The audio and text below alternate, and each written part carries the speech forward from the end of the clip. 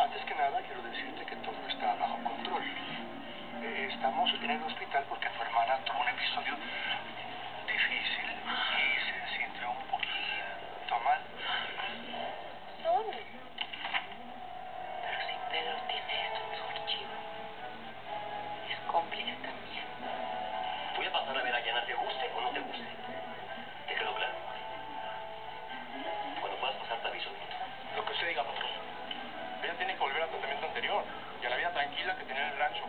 Esa vida tranquila solamente la tendrá en el rancho, señor Victorio.